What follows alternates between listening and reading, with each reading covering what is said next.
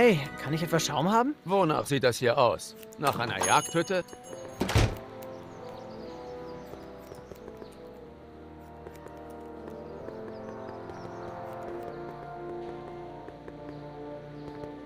Hier wurde wohl die illegale Bar niedergebrannt. Wie konnte Doc nur in sowas verwickelt werden?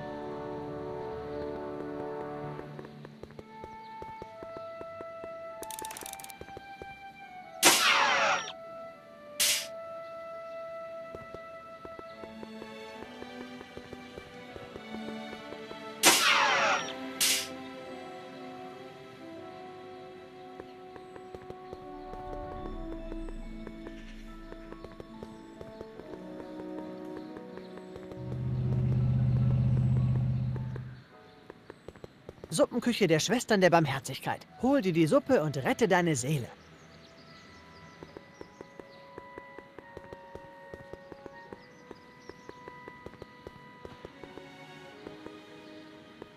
Hill Valley Polizeirevier. Verflixt, das hier sieht alt aus, selbst für 1931.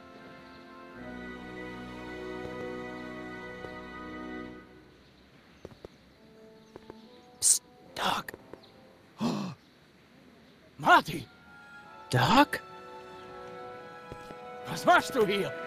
Sie haben mich hergerufen, Doc. Hab ich? Wann? Am 14. Mai 1986. 1906 und das automatische Aufspürsystem. Natürlich! Das hätte ich fast vergessen.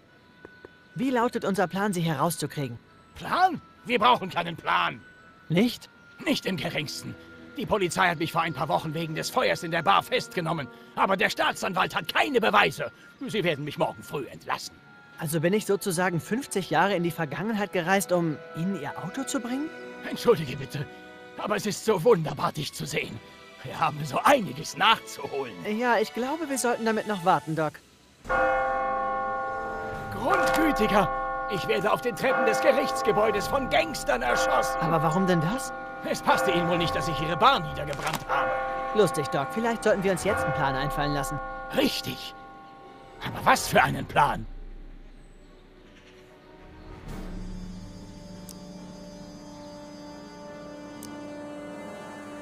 Und wenn ich den DeLorean nehme, zurück in die Zeit vor der Verhaftung reise und verhindere, dass man sie schnappt? Denk nicht mal daran. Ohne meine Verhaftung könnten die Geschehnisse, die dich in die Vergangenheit geschickt haben, verhindert werden und zu einem Paradoxon von kontinuum erschütterndem Ausmaß führen. Mann, oh Mann, wir sind gerade mal wieder seit fünf Minuten zusammen und Sie reden schon vom Ende des Universums. Das hat mir gefehlt. Mach dich nicht lächerlich, Marty. Ich meinte nur das Ende des Universums, so wie wir es kennen. Warum schalten wir nicht die Behörden ein? Was wollen wir Ihnen erzählen? Dass mein Freund aus der Zukunft Beweise dafür hat, dass ich morgen ermordet werde? Die bringen uns beide in die Klapsmühle. Und glaub mir, du willst kein Irrenhaus von 1931 von innen sehen. Hey, vielleicht könnte ich mit den Gangstern reden und ihnen sagen, dass sie den Falschen haben. Ich denke nicht, dass die Kriminellen dieser Zeit sehr offen gegenüber einem Fremden sein werden, der ihnen erzählt, dass ihr geheimer Mordplan falsch ist. Oder? Nun, ich schätze, ich könnte einfach etwas Dynamit holen und sie hier raussprengen. Nein, nein, das ist viel zu gefährlich. Nicht nur für mich. Auch die anderen unschuldigen Leute in der Vergangenheit könnten die Auswirkungen... Das ist es. Was jetzt? Meine Raketenbohrmaschine. Sie haben eine Raketenbohrmaschine? Noch nicht. Ich habe sie noch nicht gebaut. Jetzt bin ich verwirrt, Doc. Hör zu. Vor einigen Monaten hat mein 17-jähriges Ich einen Patentantrag für eine Raketenbohrmaschine eingereicht. Ich gab das Projekt auf, weil ich nichts mehr vom Patentamt gehört habe. Aber der Prototyp müsste fast fertig sein. Großartig. Ich laufe schnell zu Ihrem Labor und... Nein, ich sagte fast fertig. Ich muss dir dabei helfen, ihn fertigzustellen. Wie soll ich eine halbfertige Raketenbohrmaschine in Ihre Zelle schmuggeln? Nein, ich meine mein Ich von 1931. Sie wollen, dass ich Ihr Ich von 1931 davon überzeuge, eine Raketenbohrmaschine zu bauen, um sie aus dem Gefängnis zu holen? Präzise. Wenn ich mit Ihrem jüngeren Ich spreche, verursacht das nicht irreparable Schäden am Raum-Zeit-Kontinuum oder so etwas? Das sollte in Ordnung gehen. Die Idee des Raketenbohrers ist schon entwickelt. Du musst mein jüngeres Ich nur noch dazu bringen, den Prototypen fertigzustellen. Wie soll ich Ihr jüngeres Ich davon überzeugen, den Raketenbohrer fertig zu bauen? Ihm erzählen, dass ich sein älteres Ich aus dem Gefängnis holen will? Auf keinen Fall. Was auch immer du machst, du darfst meinem jüngeren Ich nichts über Zeitreisen erzählen. Die Inspiration für den Fluxkompensator bekomme ich erst 24 Jahre später. Was soll ich dann machen? Sei einfach so charmant wie immer. So wie ich mich erinnere, bin ich recht unkompliziert. Es sollte also ein Kinderspiel sein, mich zu einem wissenschaftlichen Experiment zu bewegen. Okay, sagen wir, ich mache bei diesem verrückten Plan mit. Wo kann ich sie finden? Ich meine, das andere sie. Woher soll ich das wissen? Das ist über 50 Jahre her. Warum gehst du nicht nach nebenan in die Suppenküche und rufst bei mir zu Hause an? Dort wird man wissen, wo ich bin. Suppenküche. Okay. Halte dich nur von der Suppe fern. Sie wird dein Verdauungssystem irreparabel schädigen.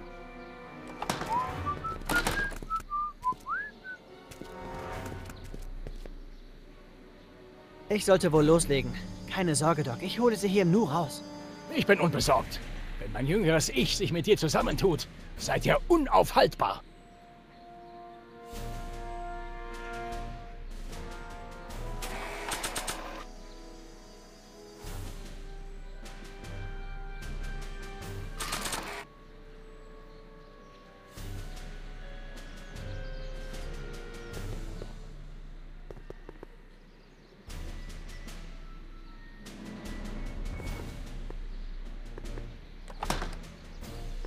Wer bist du und was willst du?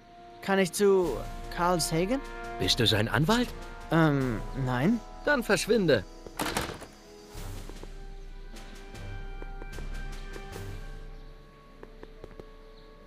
Psst, Doc!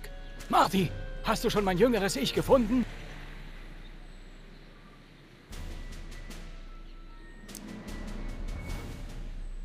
Was wissen Sie über Edna Strickland?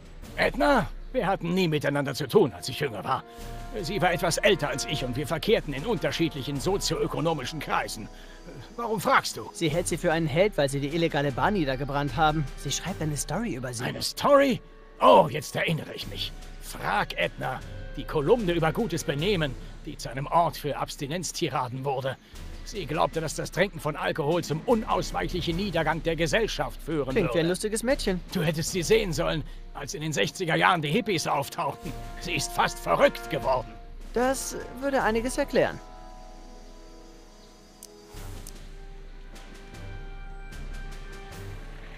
Ohren steif halten, Doc. Vielleicht nicht die besten Worte, Marty.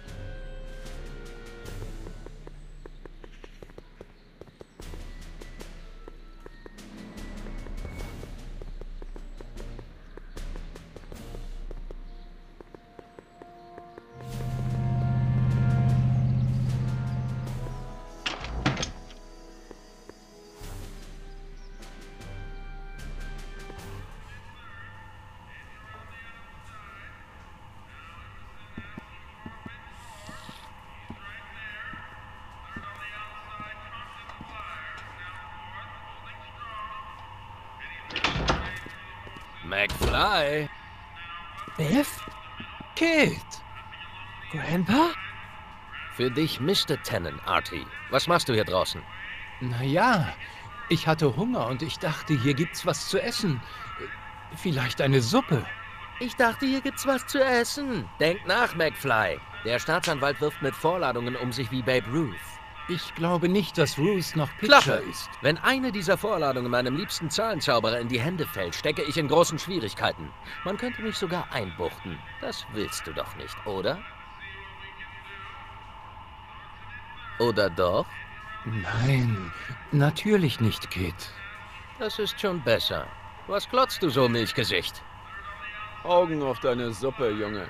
Nun, Nun was? was machst du denn noch hier? Entschuldige, Kid. Ich werde wieder zurück ins Versteck laufen. Mach das. Und McFly, Ja? dieser Hut ist zu auffällig. Du gibst ihn besser mir. Oh, Jetzt hau ab in Ordnung, Boss. und komm nicht raus, bis ich dir Entwarnung gebe. Ich schwöre, selbst wenn einer von euch Dummköpfen zwei und zwei im Kopf rechnen könnte, würde ich diesen Jammerlappen in den See werfen. Hey! Jedenfalls muss ich jetzt los und mich unwiderstehlich machen. Seht zu, dass keiner den Laden ansteckt, während ich weg bin.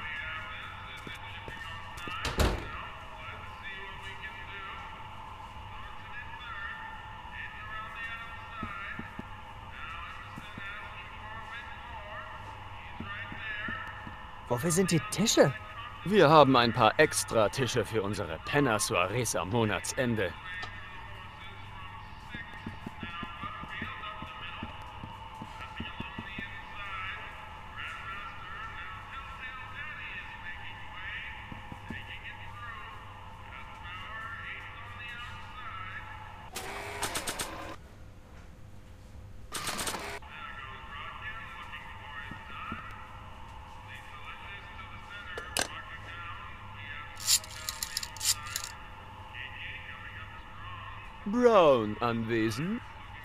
Hi. Könnten Sie mir sagen, wo ich Emmett Brown finde? Der jüngere Master Brown geht gerade seinen Angestelltenpflichten im Gericht nach. Von wem darf ich ausrichten, dass er angerufen hat? Im Gericht? Doc hat mir nie erzählt, dass er im Gericht gearbeitet hat.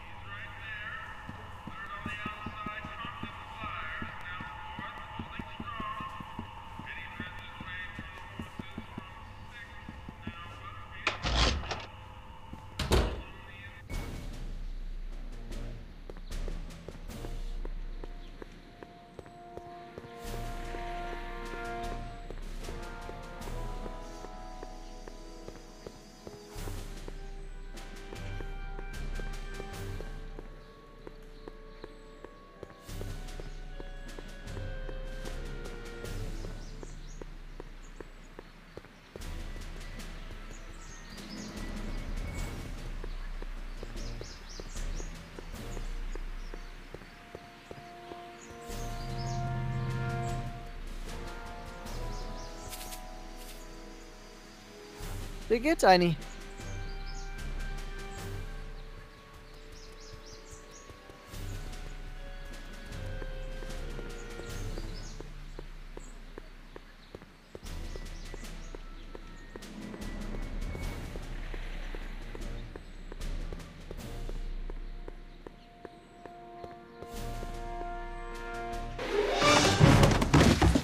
Fassen Sie das nicht an. Das sind vertrauliche Gerichtsunterlagen. Nur vereidigte Beamte des Gerichts haben darauf Zugriff.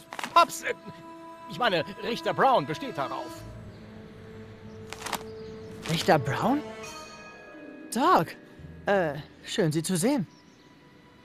Ähm, ich bin Sonny Crockett. Emmett Brown. Aber ich bin ein Gerichtsangestellter und kein Doktor. Geh mir bitte aus dem Weg. Ich habe wichtige Geschäfte zu erledigen. Zielt mit dem Kehrwert von Paar natürlich weniger als den Erwartungswert für A, richtig? Was habe ich bloß übersehen? Hör zu, Emmett, du kennst mich nicht, aber ich bin dein Freund. Ich halte nichts von Freunden. Sie halten mich von der Arbeit ab. Was hast du Wichtiges zu tun? Eine juristische Angelegenheit. Sehr kompliziert, sehr verworren. Ich brauche fünf Unterschriften auf jeder Kopie dieser Schadensersatzforderung, bevor Paps, ich meine Richter Brown, auch nur daran denken kann, der erstgenannten Partei eine Verzichtserklärung zu bewilligen. Du hast keine Ahnung, worum es geht, oder? So wichtig ist das. Komm schon, Doc. Emmett, lass die Rechtsverdreherei sein. Es gibt etwas Wichtigeres für dich zu tun. Mr. Crockett, Sie sollten wissen, dass das Gesetz der Mörtel ist, der die Steine der Gesellschaft zusammenhält. Und wir Juristen sind wie die Maurer, die damit das Gebäude der Zukunft errichten. Hat dir das dein Vater gesagt? Jeden Morgen. Also, Emmett, wann bist du mit der Arbeit fertig? Kommt drauf an. An Wochentagen lässt mich Paps manchmal bis neun bleiben. 9 Uhr abends? Aber heute ist Samstag. Richtig. Wahrscheinlich kann ich nicht vor zehn weg.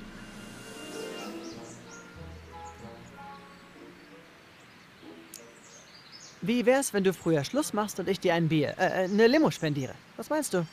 Versuchen Sie nicht, mich mit zuckerhaltigen Getränken zu locken. Meine Leidenschaft ist es, die Rede der Gerechtigkeit am Laufen zu halten. Und wenn ich vor acht gehe, bringt mich mein Paps um.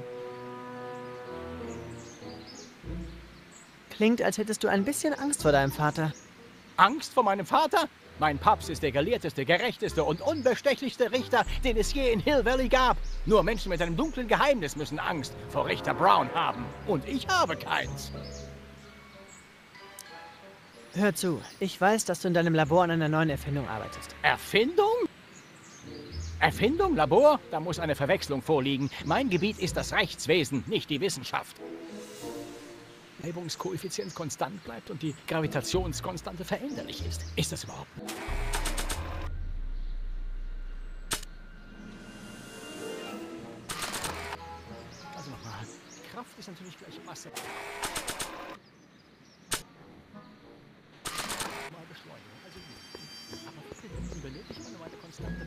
Schon, warte einen Moment. Sie schon wieder. Sehen Sie nicht, dass ich zu tun habe?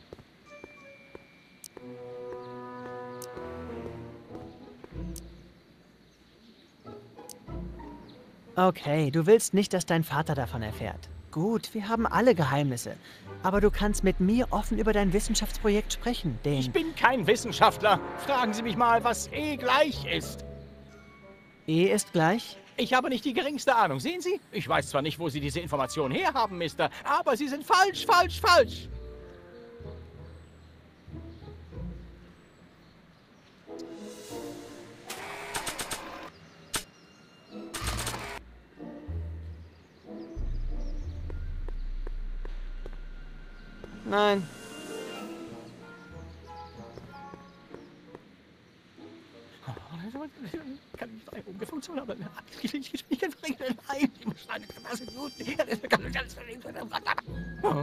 Denkt nach, Emmet. H hoch A multipliziert mit dem Kehrwert von A. H hoch A multipliziert mit dem Kehrwert von A.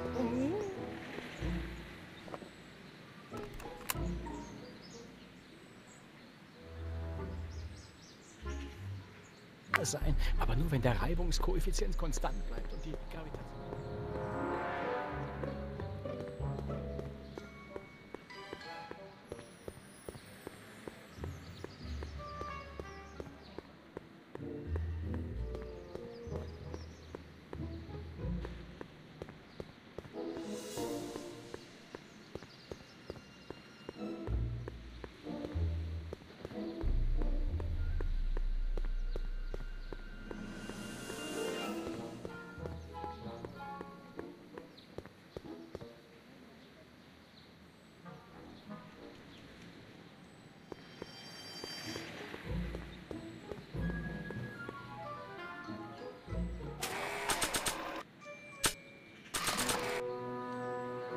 Also, Doc, geht Ihnen hierbei ein Licht auf? Ach, denkt nach, Emmet. H zum A multipliziert mit dem Kehrwert von A. H zum A multipliziert mit dem Kehrwert Großer von A. Gott, bin das ich? Ich klinge so. Jung? Ich wollte erpicht sagen. Ich habe ganz vergessen, wie sehr ich mich in etwas hineinsteigern konnte. Ja, was murmeln Sie da vor sich hin? Oh, das ist simpel. Das ist das Ivanov-Problem. Sag meinem jüngeren Ich einfach, dass H der Hamilton-Operator ist. Würde die Zeit gerade nicht gestört, wenn er die Antwort weiß? Nur wenn sich herausstellt, dass die Realität eigentlich nur eine holographische Illusion ist, die durch das Zusammenspiel subatomarer Partikel auf einer riesigen zweidimensionalen Membran hervorgerufen wird. Also, Es wird schon gut gehen.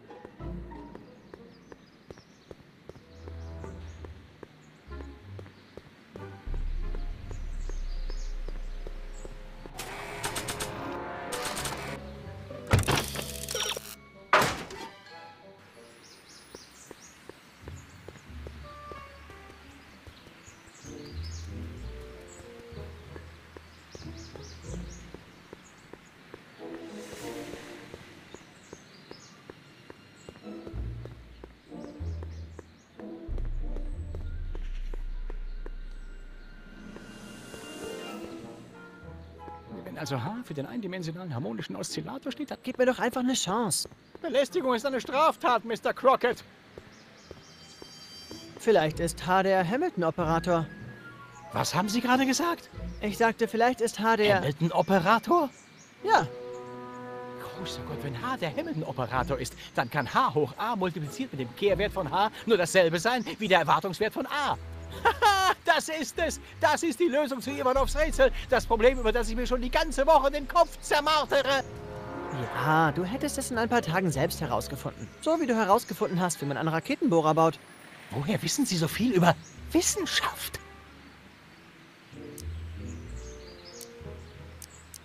Nun ja, es ist so. Halt, Sie wissen von meinem Raketenbohrer? Dafür kann es nur eine Erklärung geben. Was? Sie sind vom Patentamt. Ich muss zugeben, dass ich nicht wusste, was mich erwartet, als ich die Papiere eingeschickt habe. Willkommen, stets zu Ihren Diensten. Was kann ich für Sie tun?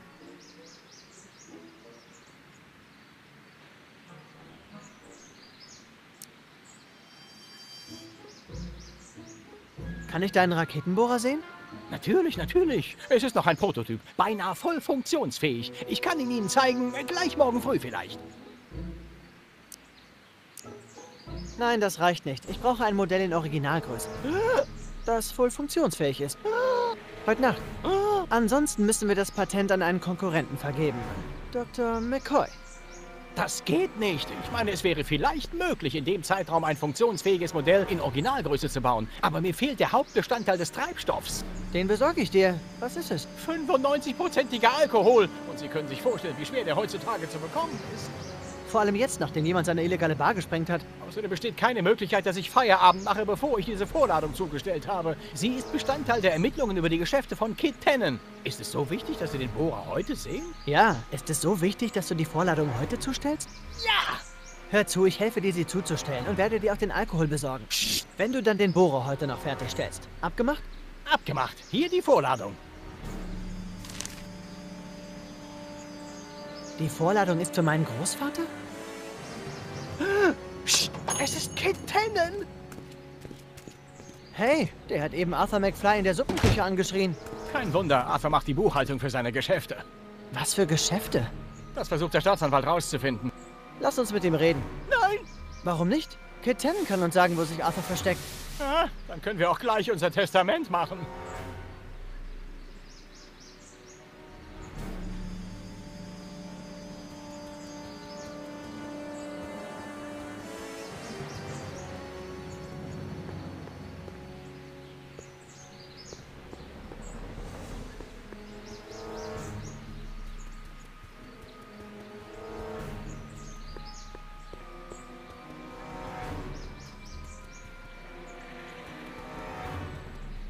Nettes Fahrrad. Abgefahren. Abgefahren? Ich bin nicht abgefahren. Ich bin doch noch hier, voller Leidenschaft für Gerechtigkeit, Sicherheit, Recht und Ordnung. Schon gut. Hey, Miss Strickland. Hallo, Mr. Crockett. Lenken Sie keine unnötige Aufmerksamkeit auf mich. Ich bin an einer sensationellen Story dran, wie wir von der Presse sagen.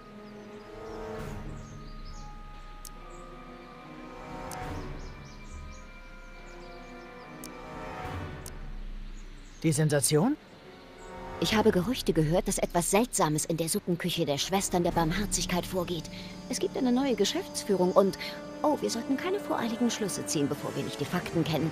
Ich bete, dass es nur ein Gerücht ist. Diese Suppenküche ist die Speerspitze im Kampf für die gute Sache.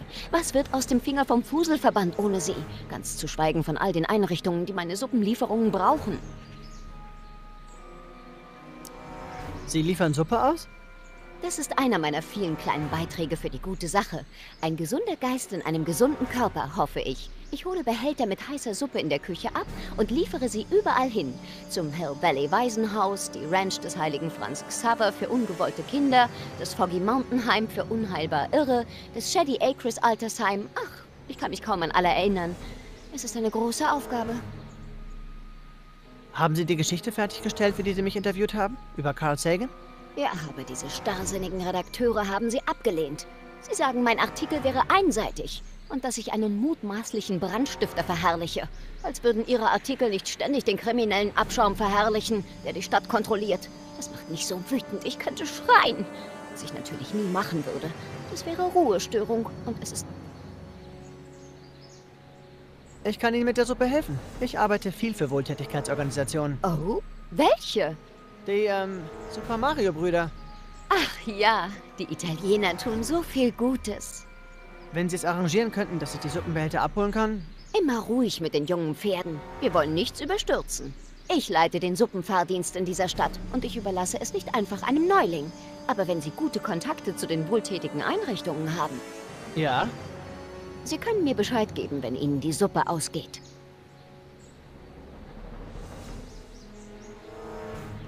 Ich kenne tatsächlich eine Einrichtung, die mehr Suppe braucht. Oh, welche?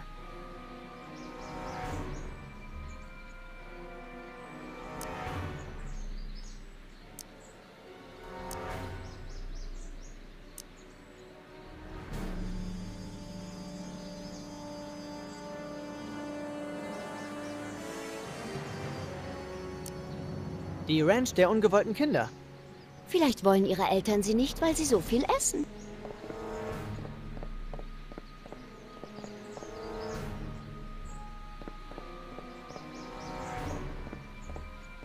Okay, Edna, denk einfach an all die armen Seelen und halte die Luft an. Mr. Donnelly?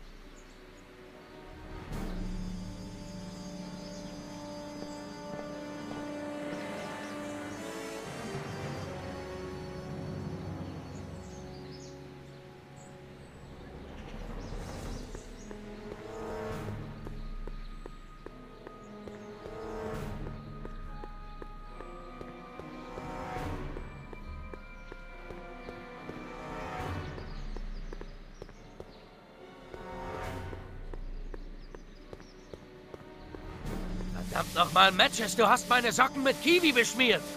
Sorry, Boss. Raus hier. Was willst du? Bitte? Ich sitze zum Schuheputzen hier und du kommst zu mir. Entweder willst du meine Schuhe putzen oder du willst sterben. Welches von beidem?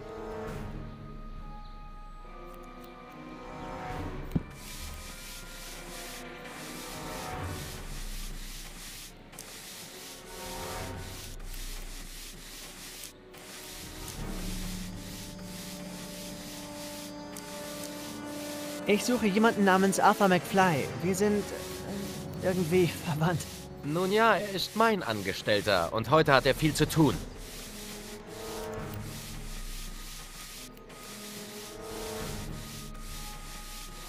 Ist das nicht Arthur McFlys Hut, den Sie da haben? Es war McFlys Hut. Jetzt dient er mir als Erdnussschale.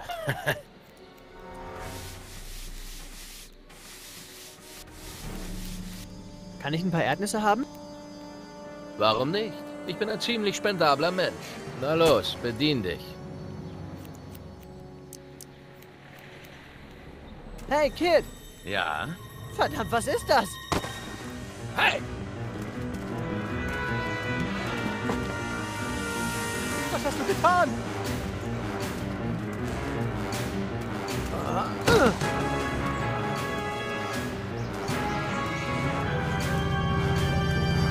mir den Hut, du miese Ratte! Eric!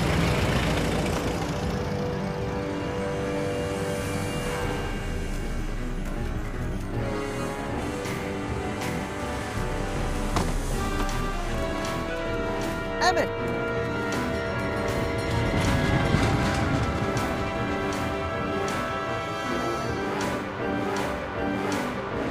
Niemand hält Kid Tannen zum Narren.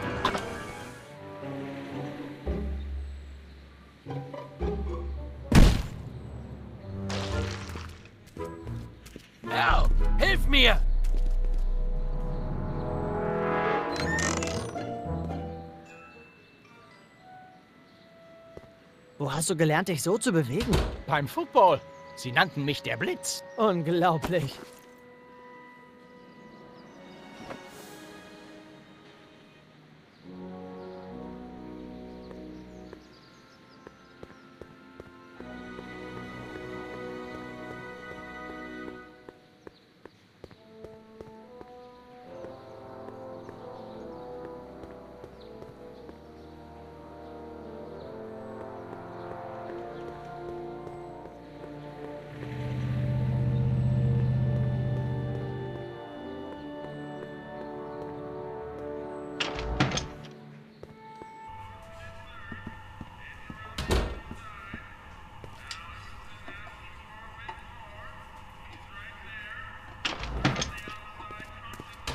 Hey, Q-Ball. Was? Der Laster ist gerade mit einer neuen Ladung äh, Suppe angekommen. Suppe, Suppe?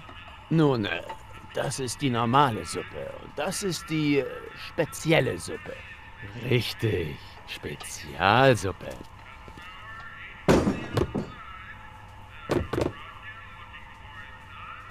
Hey, was tust du da? Ich würze die Suppe.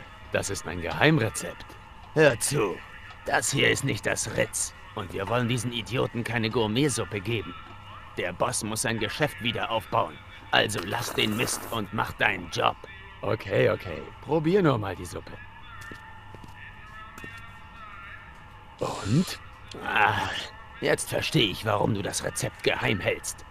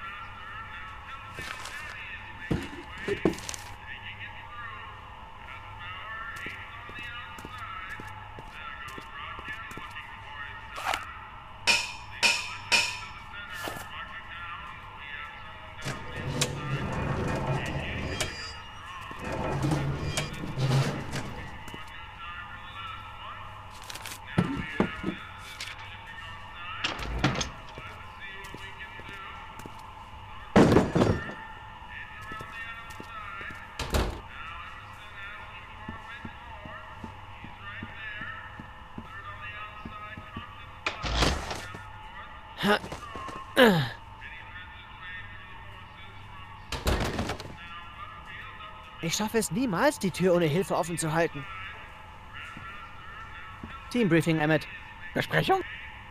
Hör mir nur einen Moment zu. Emmett, ich komme nicht an die Tür da drüben. Diese Tische blockieren sie. Die Tür? Sollen wir einfach hineinspazieren und ein Fass Alkohol mitnehmen? Äh, nein, natürlich nicht. Das wäre blöd, oder? Finde ich schon. Trotzdem würde ich gern diese Tür öffnen. Von hier draußen kann ich nichts machen. Nun, das ist eine Sache der Physik. Wir brauchen einen Hebel, eine Art Stopper. Mal sehen, womit ich dienen kann.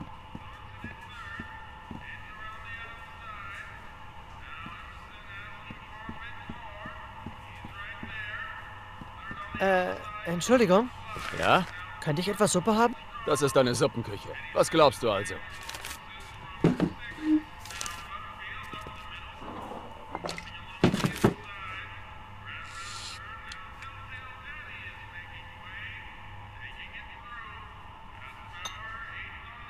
Was ist das für eine Suppe? Schmeckt wie...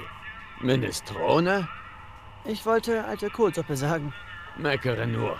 Alles, was ich hier habe, ist diese abgestandene Fasssuppe und ein Gewürzregal, das seit dem Zweiten Weltkrieg nicht mehr aufgefüllt wurde. Wie soll ich deiner Meinung nach was Besseres als diese Brühe kochen? Mal sehen. Schon probiert mit...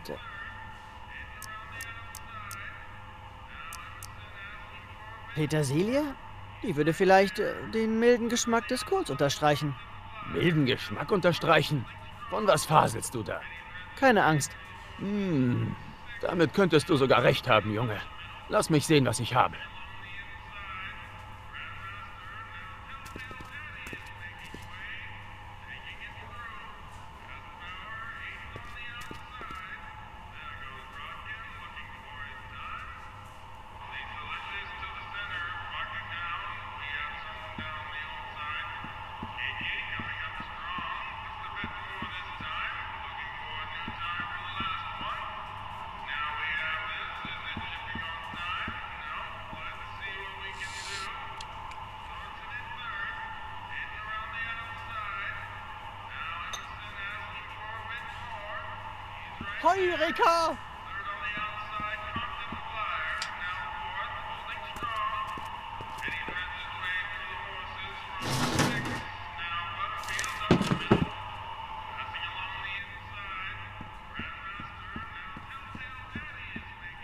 Emmett, Ja? oh, das ist äh, interessant. Nur ein wenig mechanischer Einfallsreichtum und am Ende ist die Tür offen. Ja, gut gemacht. Wir kommen schon irgendwie an den Fusel. Ich denke weiter nach.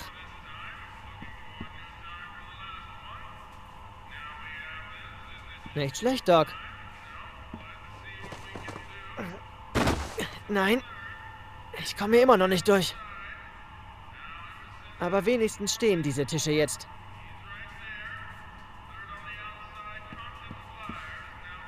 Emmett, Ja? irgendeine Idee, wie wir an den Fusel kommen? Fusel? Den Alkohol, Emmett. Ah, man könnte auf die Idee kommen, dass sich in einigen dieser Fässer Fusel verbirgt. Du hast wahrscheinlich recht, aber in welchen? Wenn ich an einige dieser Fässer herankäme, könnte ich sie wiegen und ihre relative Dichte vergleichen. Relative Dichte? Komm schon, Emmett. Kids Schläger werden uns keine Experimente an ihren Fässern durchführen lassen. Das stimmt wohl. Dann fragen wir den Mann dort hinter dem Tresen. Was? Haben Sie auch Fässer mit schwarz gebranntem Schnaps hier? Wie realistisch. Nun, ich dachte, wir würden es mit etwas Raffinesse angehen. Raffinesse. Richtig. Diese Küche ist offensichtlich nicht die illegale Bar. In der Tat, dies muss eine Art Fassade sein, die geschickt und legal die Existenz einer versteckten und verruchten Einrichtung verschleiert. Vielleicht im Keller? Stimmt, das könnte den Fahrstuhl erklären. Wir kommen schon irgendwie an den Fusel. Ich denke weiter nach.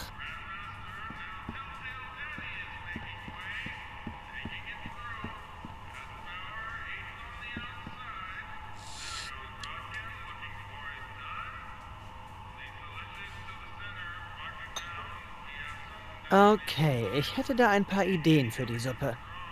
Schieß los. Mal sehen. Schon probiert mit Salz? Salz? Schmeckt es dir etwa nicht? Zu fad? Ich hab doch nicht zu viel Pfeffer reingemacht, oder? Ich denke nur, sie könnte etwas Salz vertragen. Über Geschmack lässt sich eben streiten.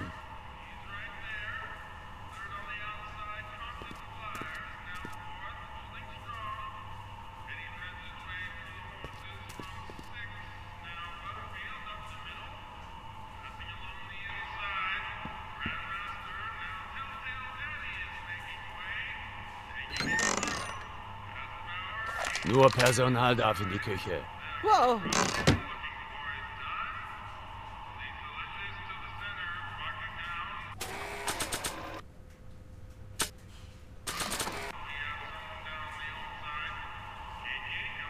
Das glaube ich nicht. Vielleicht nicht?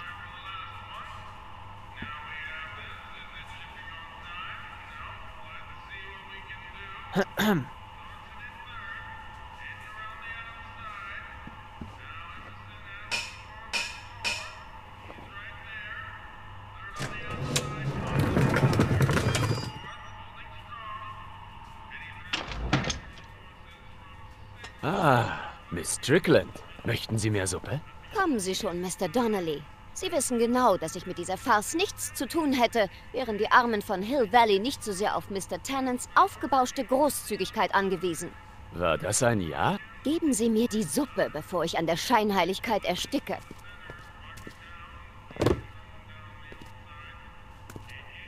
Ich richte dem Boss Ihre Grüße aus. Ich wette, das werden Sie.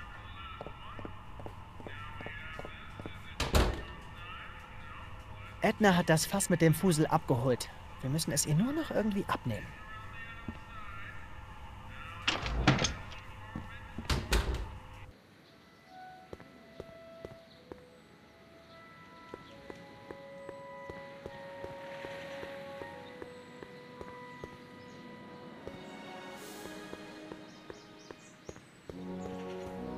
Hey, Miss Strickland. Hallo, Mr. Crockett. Ich habe wenig Zeit, fürchte ich. Das Treffen des Finger vom Fuselverbands beginnt gleich. Was ist der Finger vom Fuselverband? Sie haben doch nicht vom FVFV gehört? Er leistet wundervolle Arbeit. Dort werden aus hoffnungslosen betrunkenen Landstreichern ehemalige hoffnungslose betrunkene Landstreicher gemacht. Ich bin ein Gründungsmitglied, aber das heißt nicht, dass ich... Äh, naja, Sie wissen schon. Bisher trafen wir uns immer im Keller der Suppenküche der Schwestern der Barmherzigkeit. Aber aus irgendeinem Grund lassen uns die neuen Betreiber nicht mehr dorthin. Jetzt haben wir keinen Treffpunkt. Ich kenne einen Ort, wo sich der FVFV treffen kann. Oh, wo denn? Das Brown-Anwesen. Sie meinen das Haus von Richter Brown? Ja, ich bin zufällig mit seinem Sohn befreundet. Und er hat mir erzählt, der Richter würde liebend gerne sein Anwesen zur Verfügung stellen für gute Sachen, wie die ihre. Wirklich? Das ist die großzügigste und wohltätigste Geste seit Ewigkeiten. Bitte sagen Sie Ihrem Freund Emmett, dass wir annehmen. Das Angebot hätte zu keinem besseren Zeitpunkt kommen können. Es müsste gleich losgehen. Sie haben mich darum gebeten, Ihnen zu sagen, welche Einrichtungen Suppe brauchen. Wer muss von meinem Suppenfahrdienst besucht werden?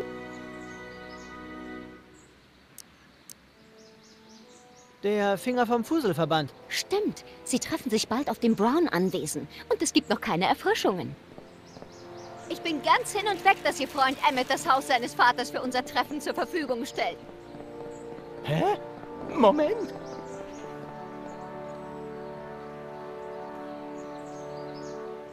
Sonny! Was in Thomas Alva Edisons Namen denken Sie, was Sie da tun? Verstehst du nicht? Du brauchst Alkohol, um deinen Bohrer zum Laufen zu bringen, oder? Bei den Schmugglern der Suppenküche werden wir nie an eines ihrer Fuselfässer kommen. Aber Miss Strickland kann eins für uns holen und es uns bis an die Tür bringen. Nein, das ist ausgeschlossen. Warum? Ich kann nicht zulassen, dass Fremde in mein Elternhaus eindringen. Was wissen wir über diese Menschen?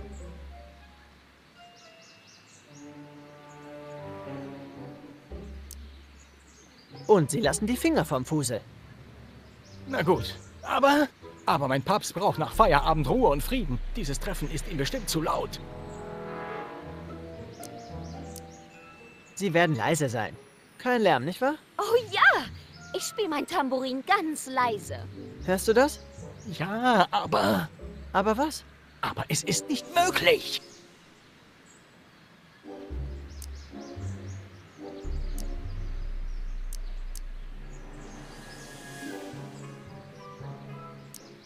Aber was soll aus den Mitgliedern des Finger vom Fuselverbands werden?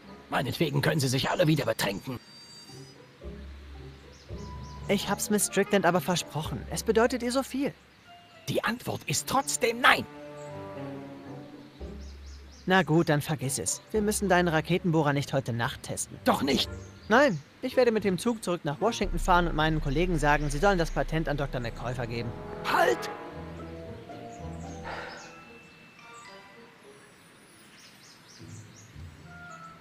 Werden Sie den Verbandsmitgliedern sagen, sie sollen sich die Füße abtreten, bevor sie hereinkommen? Dann sind Sie Emmett Brown. Hab ich's mir doch gedacht.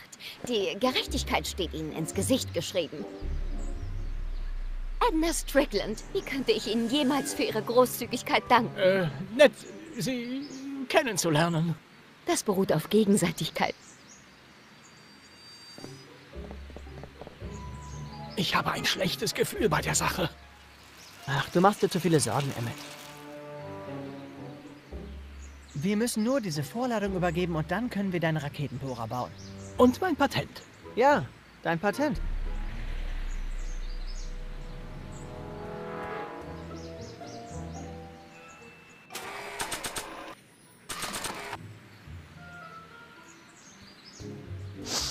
Hey, Eini, komm mal her. Kannst du den Mann zu diesem Hut finden? Wo will er hin? Das lässt sich nur auf eine Art rausfinden.